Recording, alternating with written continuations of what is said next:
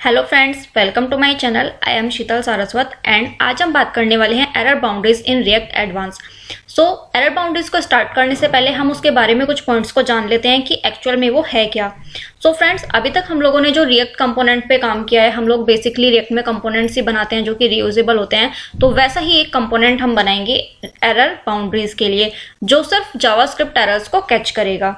Then second point है हमारा कि कभी कभी क्या होता है कि जब हमारे पास कोई भी एरर आ जाती है तो हमारी पूरी साइट क्रैश हो जाती है। वहाँ पे जस्ट हमें कुछ भी दिखाई नहीं देता, हमारा पूरा ब्लैंक हो जाता है क्रैश हो जाता है वो। तो उसकी जगह हम लोग क्या करेंगे कि उसको क्रैश ना करने की जगह अपना एक यूआई बनाएँगे, अपना कुछ समथिंग थोड़ा छोटा कोड लिख देंगे एंड उसको हम एरर्स की जगह शो करा देंगे। देन नेक्स्ट पॉइंट है हमारा, एक class component becomes an error boundary friends ये चीज़ हमेशा ध्यान रखने की है कि जब भी हम एरर बाउंड्री के बारे में बात कर रहे होते हैं, तब हमें लोगों को हमेशा ध्यान रखना है कि हमें क्लास कंपोनेंट ही बनाना है। हम लोग कभी भी फ़ंक्शन कंपोनेंट नहीं बनाएँगे एरर बाउंड्रीज के लिए।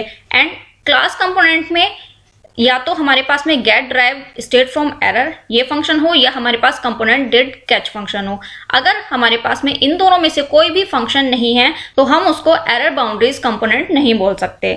देन नेक्स्ट पॉइंट है हमारा error boundaries don't catch error for event handlers asynchronous code and server side rendering code so friends मैं आपको बता दूँ कि एरर बाउंड्री क्या करेगा? सिर्फ़ अपने चिल्ड्रन कंपोनेंट में एरर को फाउंड करेगा, ना कि जो एरर बाउंड्रीज में हमने कोड लिखा है, उसको फाउंड नहीं करेगा। या जो हमने उस बाउंड्री के बियॉन्ड जाके कोड लिख दिया है, ये उसको भी फाउंड नहीं करेगा। तो चलिए फ्रेंड्स स्टार्ट करते हैं। ये मैंने एक छोटी सी ऐप बनाई हुई है, जिसमें जस्ट मैंने अभी एक ही हेडिंग लिखी हुई है एग्ज़ाम्पल ऑफ़ एरर बाउंड्री इसका मैं अभी रिज़ल्ट दिखा देती हूँ। यहाँ पे सिर्फ़ मेरे पास में एक एरर बाउंड्री आ रहा है। तो मैं इसमें क्या करने वाली हूँ? मैं एक बटन बनाने वाली हूँ शो एरर के नाम से। देन उस बटन की क्लिक पे हम पहले अपनी ऐप को क्रैश करके देखेंगे। फिर मैं बताती हूँ कि उस एरर की जगह हम लोग अपने यूआई को कैसे डिस्प्ले करा सकते हैं। तो फर्स्टली मैं यहाँ पे एक बटन बना लेती हूँ शो एरर के नाम से। एंड क्लिक पे मैं एक फ़ंक्शन कॉल कराऊँगी शो एरर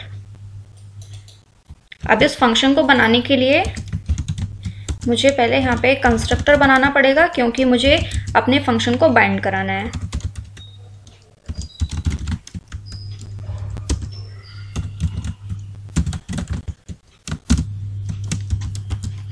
अभी मैं स्टेट कुछ नहीं बना रही हूँ।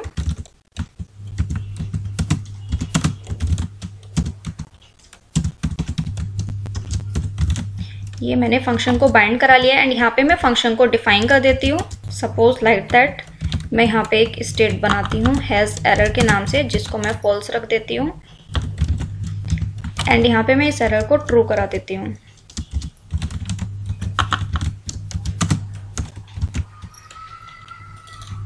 तो मेरे पास में क्या होगा? जैसे ही ये एरर आएगी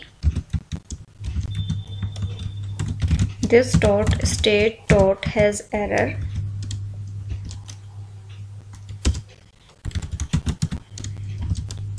वैसे ही मैं रिटर्न करा दूँगी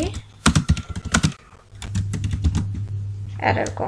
एंड यहाँ पे मैं अपना कोई मैसेज पास कर देती हूँ। ऐप क्रैश नाउ सॉरी यहाँ पे एरर आ रही है। यहाँ पे मुझे रिटर्न लगाने की कोई ज़रूरत नहीं है। तो अभी मैं इसका रिज़ल्ट देख लेती हूँ। मेरे पास में एरर आ गई है। Show error is not a function okay मुझे यहाँ पे मैंने क्लास कंपोनेंट यूज़ किया है तो मैं कोई भी फ़ंक्शन बनाऊँगी तो उसके क्लिक के लिए मुझे दिस लगाना कंपलसरी है। ये मेरे पास में शो एरर का फ़ंक्शन आ गया है। एंड इस पर जैसे ही मैंने क्लिक किया, वैसे ही मेरे पास में ऐप क्रैश हो गई है। मेरे पास ये पूरा ब्लैंक आ गया है। तो मेरे को यहाँ पे क्या करना है एक्चुअल में कि जो अभी मेरी ऐप क्रैश हुई है, उसकी जगह यहाँ पे पूरा ब्लैंक ना होने की जगह मेरे को यहाँ पे एक दूसरा डिप दिखा दे, दूसरा यूआई दिखा दे, जिसमें मैं पता लगा पाऊँ कि मेरे को अभी एरर आ गई है। अभी हम यहाँ पे जाके चेक कर रहे हैं तो ये देखिए, ये मेरा डिव रूट जो था, वो पूरा ब्लैंक आ गया है, यहाँ पे कोड ही पूरा चला गया है। तो अभी मैं क्या करूँगी? मैंने अभी सिर्फ़ ऐप जेएस में लिखा है। अब मैं इसको क्या करती हूँ? मैं इसके लिए एक दूसरा कंपोनेंट बना लेती हूँ कंटेंट के नाम से, जिसमें मैं अपना पूरा कंटेंट लिखूँगी एंड एक कंपोनेंट मैं बनाऊँगी एरर बाउंड्री के लिए। तो मैं दो कंपोनेंट यहाँ पे बना लेती हूँ। एक मैंने बनाया कंटेंट जेएस के नाम से, जिसमें मैं पूरा यही कोड लगा दूँगी एंड एक मैं बना लेती हूँ एरर बाउंड्री के नाम से, जिसमें मैं कंपोनेंट डिड कैच फ़ंक्शन लगाऊँगी एंड उसमें एरर को मैं कैच करूँगी। तो कंटेंट के लिए तो मैं यही वाला पूरा पेस्ट लगा देती हूँ जस्ट इसका नाम चेंज कर देती हूँ। एंड मेरे को यहाँ पे सिर्फ़ बटन चाहिए, क्योंकि जो इसका पेरेंट डिव है, उसको मैं यहीं पे रखूँगी। एंड इस बटन की जगह मैं यहाँ पे कंटेंट दिखा देती हूँ। ओके ये मेरा इंपोर्ट हो गया है यहाँ पे। एंड इसी के साथ ही मैं यहाँ से ये सब अपना कोड हटा देती हूँ। मेरे को इसकी यहाँ पे भी कोई ज़रूरत नहीं है। अभी फ़िलहाल में मैंने वही काम किया है, जो मैंने अभी ऐप जेस में किया था, उसको मैंने कंटेंट डॉट जेस में लाके पुट कर दिया है एंड इसका रिज़ल्ट अभी हमारे पास में सेम है। तो अब हम वर्क करेंगे एरर बाउंड्री पे, जिसमें मैं एरर बाउंड्री के लिए कंपोनेंट बनाऊँगी। तो एक्सपोर्ट डिफ़ॉल्ट क्लास फ्रेंड्स ये हमेशा ध्यान रखना है कि हमें क्लास कंपोनेंट ही बनाना है, हमें यहाँ पे कोई भी फ़ंक्शन कंपोनेंट नहीं बनाना है।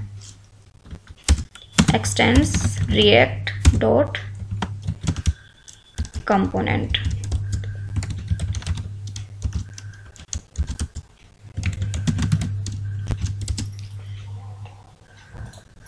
अब मेरे को क्या करना है? यहाँ पे कंपोनेंट डिड कैच का फ़ंक्शन बनाना है, जिसमें मेरे को दो पैरामीटर पास करने होंगे एरर और एरर इन्फो के लिए। क्योंकि मेरे को क्या करना है?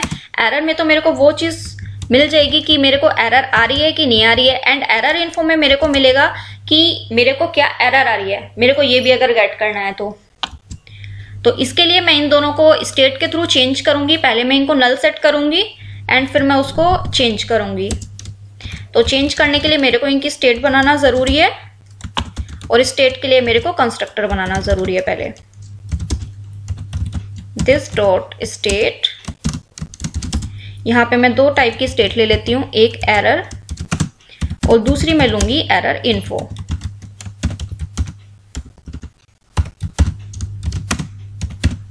ये मैंने दोनों स्टेट ले लिए हैं। अब मैं इसी को क्या करूँगी यहाँ पे? जैसे ही मेरा ये ऐप कंपोनेंट डिड कैच में जाएगा, वैसे ही मैं इनको सेट करा दूँगी। दिस डॉट सॉरी मैंने कॉपी किया हुआ था, मैं वही पेस्ट कर लेती हूँ। This dot set state and यहाँ पे मैं इसको, जो मेरे पैरामीटर की वैल्यू इसको मिलेगी कंपोनेंट डिड कैच को, मैं उसी वैल्यू को यहाँ पे मैंने इनको स्टोर करा दिया। देन अब इसके रेंडर में मेरे को क्या चेक करना है कि मेरे पास एरर इन्फो अभी है कि नहीं है? तब मैं अपने आगे प्रोग्राम को रन कराऊँगी। तो फर्स्टली मैं चेक करूँगी this dot state dot error info कि अगर मेरे पास में एरर आ गई है सपोज़ लाइक like, जैसे अभी मेरे पास में यहाँ पे एरर आई हुई है तो मुझे क्या करना है? मैं एक दूसरा डिव दिखा देती हूँ यहाँ पे। ये मेरा एरर कंटेंट आएगा इसमें तो इसमें मैं बैकग्राउंड कलर रेड कलर डाल देती हूँ।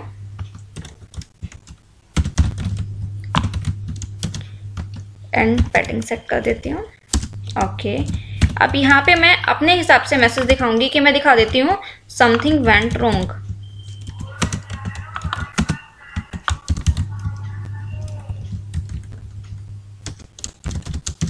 एंड यहाँ पे मैं इसकी इन्फो को दिखा दूँगी।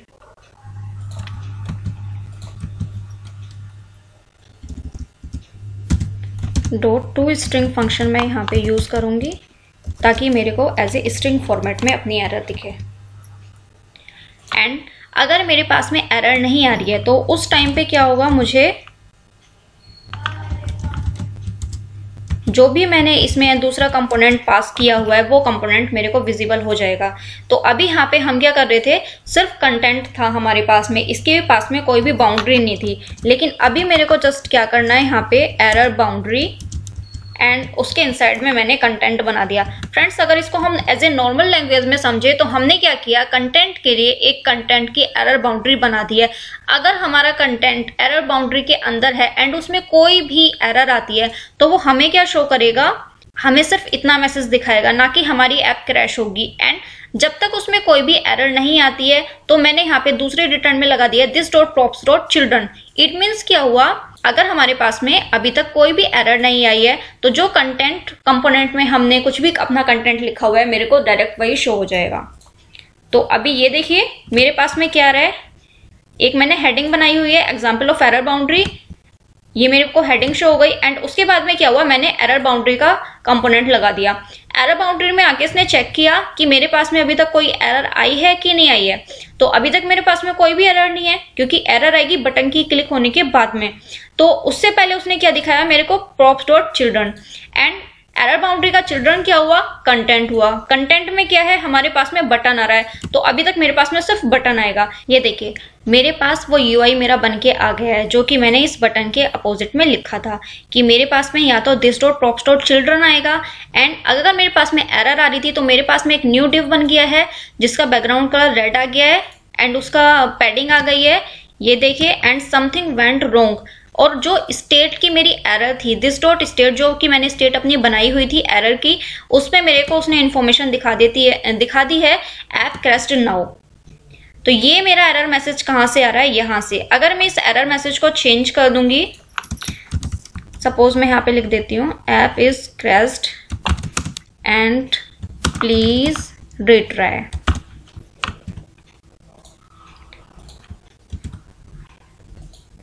तो ये देखिए, मेरे पास वो मैसेज आ गया है। सो so फ्रेंड्स ये हुआ ऑल अबाउट एरर बाउंड्री इसमें एक्चुअल में हम लोग करके आ रहे हैं, ये क्यों यूज़ किया जा रहा है कि कभी भी क्या होता था, जब हमारे पास एरर आ जाती थी तो हमारी पूरी ऐप क्रैश हो गई थी एंड पूरी विंडो हमारी वाइट आ जा रही थी। उसमें पूरा ब्लैंक था डिव रूट हमारा, उसमें कोई भी एलिमेंट नहीं बचता था। लेकिन अगर हम लोग एरर बाउंड्री का यूज़ कर रहे हैं तो हमारे पास जो उसके बियॉन्ड हमने कोड लिखा हुआ है लाइक like हमारी एरर आई थी इस कोड में, लेकिन उसके अलावा मैंने जितना कोड लिखा हुआ था, वो कोड मेरा सेफ़ है, जहाँ पे मैंने अपनी हेडिंग को लिखा हुआ है। एंड सिर्फ़ जितना सेक्शन में मेरे को एरर आई है, उसकी जगह भी मैंने कई बार वरना क्या होता था कि यहाँ पे हमारे को ये लाइन नंबर तक दिखा देता है कि ये लाइन पे आपकी ये एरर आ रही है। तो उसकी जगह हम लोगों ने एक दूसरा यूआई बना दिया है, जिसको अपनी एरर की जगह दिखा दिया है। सो so फ्रेंड्स अगर आप लोगों को कोई भी कंफ्यूजन है, आपकी कोई भी क्वेरी है तो please friends let me know I will reply तो चलिए फ्रेंड्स फिर मिलते हैं, फिर कुछ नया सीखते हैं। Okay thank you